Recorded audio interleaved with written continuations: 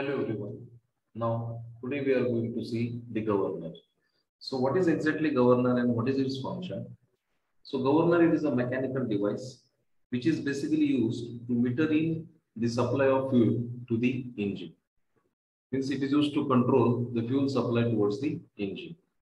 So governors they are basically first classification is it is the basic classification is centrifugal governors. Then the centrifugal governors is categorized into two parts. There is pendulum type and loaded type. Then pendulum type is Watt's governor, which was developed by the scientist Watt. And in loaded type, there are two types. One is spring control, another one is deadweight governor. And now this deadweight governor is again divided into two parts. There is Porter governor and Proell governor. And this Proell governor is now categorized into four. That is Hartnell, Harter, Wilson Hartnell, and Pickering governor. So the basically these governors mostly whatever the governors we are using in the vehicle, they are all centrifugal governors. Now what is centrifugal governors? So centrifugal governors they are basically based on the balancing of the centrifugal force on the rotating balls. So these are the rotating balls which are attached to these governors. These are the rotating balls and uh, these these balls they will be moving outward. Means the radial force will be acting and on that on that ball as the system will be rotating through this bevel gear system. So now it, uh, this system it basically consists of two ball, means, uh, balls which having equal mass and they are attached to the arms. And these balls they revolves with the spindle which is driven by the engine through the bevel gears.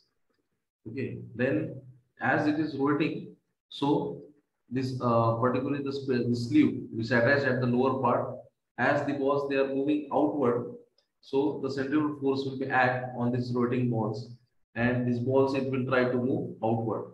And if they are moving outward, then this is the sleeve, and this sleeve it will try to move up upward, so that it will control the fuel supply which is going to the engine. So here there is one needle is there.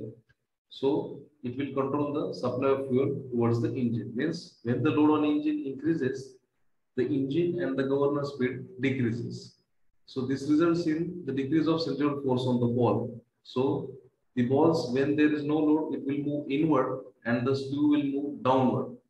And here, due to the downward movement of the sleeve, it basically operates the throttle valve, which is present at the carburetor section and at the and it will try to increase the supply of the working fluid that is the fuel and thus the engine speed is increased. While in the case when extra power output is, is required is provided so as to balance the increased load is when the load on engine decreases the engine and the governor speed increases which results in case the central force is increase on the central force on the balls and thus the balls they will move outward and the sleeve it moves upward. And this upward movement of sleeve, it will try to reduce the supply of fuel towards the engine. So in this way, this centrifugal governor it basically works. Now the governors is having certain terminology. So first terminology of the governor is height of the governor. So height is nothing but it is the vertical distance from the center of the ball to the point where the axis of the arms intersect on the spindle axis. So here height is nothing but it is the vertical distance. So this is the vertical distance where the center of the balls they were just intersecting on this spindle axis when they are moving outward. This it is the vertical distance from the center of the ball to the point where these intersections they intersect on the spindle axis it basically denotes the height of the governor. Then second is equilibrium speed. So what is equilibrium speed? It is the speed at which the governor balls or the arms, they are in complete equilibrium and uh, the sleeve does not move upward or downward. Yes, the speed of that system will be such a way that whatever the forces they are acting on the balls, they will be same so that there will be no any movement of the sleeve and the sleeve position will be fixed. So that uh, speed of that governor is called as equilibrium speed. Next is mean equilibrium speed.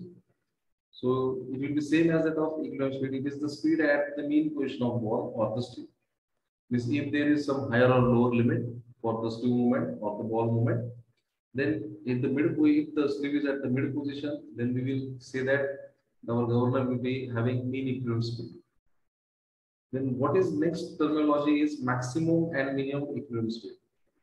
So this uh, maximum and minimum equilibrium speed is nothing but the speed means the speed at which the maximum and minimum radius of rotation of ball takes place without tending to move it either way, they are known as the maximum or minimum speed.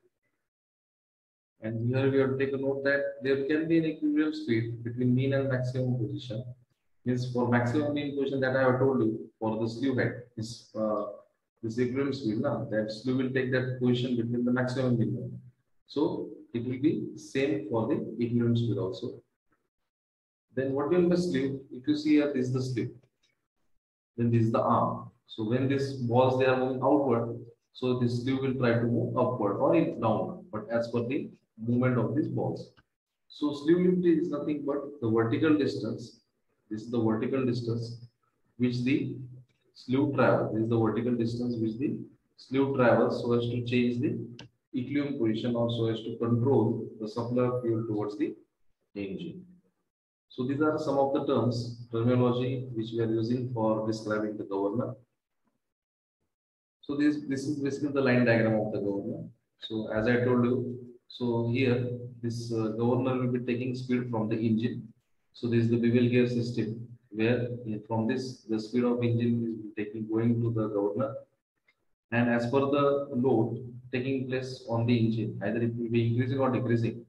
The simultaneously the speed will be also here increasing or decreasing, which will try to tail this, tend to move these fly away or inside. And this is the spindle, this is the sleeve.